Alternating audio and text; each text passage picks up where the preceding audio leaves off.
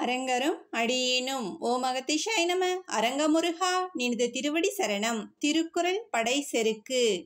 உரின் உயிர் அஞ்சா மறவர் இறைவன் செரினும் சீர்குன்றல் இலர் துன்ப காலத்தில் துன்பத்திற்கும் உயிருக்கும் அஞ்சாத நெஞ்சு உறுதி கொண்டவர்கள். தன்னை யார் பகைத்தாலும் தங்களின் தகுதிக்கும் செய்யும் செயலின் நிலைக்கும் தாழ்வான செயலை செய்ய மாட்டார்கள். மகான்கள் சாபத்தை வரமாக மாற்றிவிடுவார்கள் மாந்தர்கள் வரத்தை கூட சாபமாக மாற்றி அனுபவிப்பார்கள் என்ற ஆறுமுக பெருமானே. ஞான அறிவில் சிறந்த அருள் அனுபவத்தை பெற்றிருப்பவரே பிறருக்கும் அத்தகைய அனுபவத்தை தருபவரே வாழ்க. அகத்திய பெருமானின் அருளை பெற இயங்கும் எத்தனையோ ஜீவன்கள் புண்ணிய ஆத்மாக்களுக்கு தங்களது தரிசனத்தை தந்தருள வேண்டும் ஐயனே. அகத்தியனை உணர்ந்தால்தானே நம்பினால்தானே ஏற்றுக்கொண்டால்தானே அப்பனே? கண்முன்னே காணும் குருவை ஏற்காத போது அவர்களது மனம் கண்ணுக்கு புலப்படாத எம்மை எப்படி உணர்வார்கள்? எமது சித்த மார்க்க வழியை ஏற்காத போது எமது ஞான பண்டிதனின் மீது நம்பிக்கை இல்லாத போதும் தன்னை பற்றி தான் உணர்வது எப்படி சாத்தியமாகும்? உலகை மாற்ற வந்த ஆறுமுகப் பெருமானுக்கு மாந்தர்களின் மனதை மாற்றுவது ஒன்றும் பெரிதல்லவே. அகத்திய பெருமானே பிரார்த்தனை என்பது என்ன? முருகா பிரார்த்தனை என்பது இறைவன் மனிதனுக்கு அளித்த வரம் அப்பனே. வரமா? புரியவில்லை ஐயனே. ஒருவன் தனது கர்மாவை கழித்து தனது உடலை மனதை தூய்மையாக்கி தனது ஆத்மாவை உயர்நிலைக்கு அழைத்துச் செல்லும் ஒரு வகையான வழியே பிரார்த்தனையாகும். ஆனால் மாந்தர்கள் இதனை தண்டனையாக கருதுகின்றார்கள்.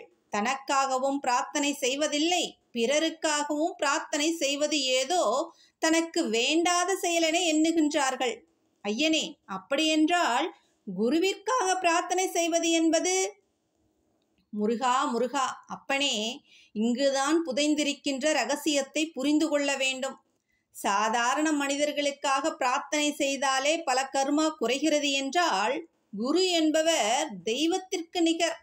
அவருக்காக பிரார்த்தனை செய்யும் போது ஒருவனுக்கு பல ஜென்ம பாவங்கள் உடனுக்குடன் குறையும் அப்பனே. பிரார்த்தனை என்பது தனதாக்கிக் கொள்வதற்கு மட்டுமல்ல தனதானதை கூட பிறருக்காக உரியதாக எண்ணுவதே. குரு என்பவர் எப்போதும் தனக்காக எதையும் செய்து கொள்ள வேண்டும் என சிந்திக்க மாட்டார். பிறர் நலன் கருதி வந்தவர்தானே உண்மை குரு. வரக்கூடிய காலங்களில் ஏற்படும் சூழலில் ஒருவனுக்கு வினை சூழ்ந்துவிடக் கூடாது என்றும் இதுவரை இருக்கும் பாவக் கழிவுகள் போக்க வேண்டும் என்றும் எண்ணியே குரு பிரார்த்தனை செய்யுங்கள் என்று கூறுவார். உள்ளம் உருகி செய்யும் பிரார்த்தனை நிச்சயம் பலிக்கும். ஒரு முறை எழுதியதில் தவறு செய்தால் அதற்கு தண்டனையாக ஆசிரியர் அதை நூறு முறை எழுது என்பார் அல்லவா? மெய்ஞான குரு கருணையே வடிவானவர்கள். நீங்கள் நூறு முறையும் தவறு செய்தாலும் ஒரு முறை சரியாக செய்வதற்கு வாய்ப்பை அளித்து உங்களது பாவத்தை உடனே நீக்கிவிடுவார். அப்பாப்பா இதில் இத்தனை சூட்சமங்கள் உள்ளதுவா? மிக்க நன்றிகள் ஐயனே. இதனின் மேலான உயர்ந்த கருத்துக்களை அற்புதங்களை விளக்கங்களை நாளைய பதிவில் தொடரும். குருவின் திருவடி வாழ்க.